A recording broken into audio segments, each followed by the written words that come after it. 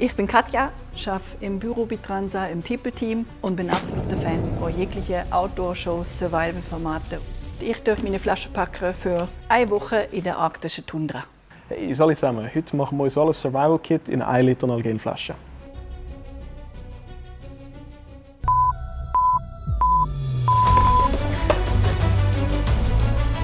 So, Zündhölzli, sowas hier. Ah, Rabine, nehme ich mit.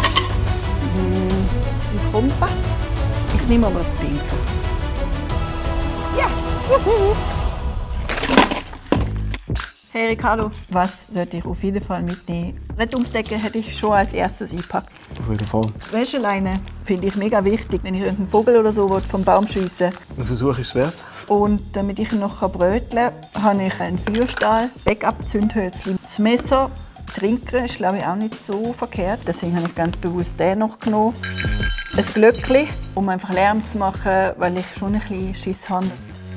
Dieses Mückenband, ein bisschen Zahnseide. Vielleicht kann ich mir einen Angel bauen oder so. Das ist gut, überlebe ich so. Du hast etwas, das dich von den Elementen isoliert, Regen und Kälte. Du hast die Möglichkeit, um ein Feuer zu machen, sogar zweierlei. Du hast die Möglichkeit, um viel Wasser zu transportieren. Ich wünsche dir ganz viel Glück.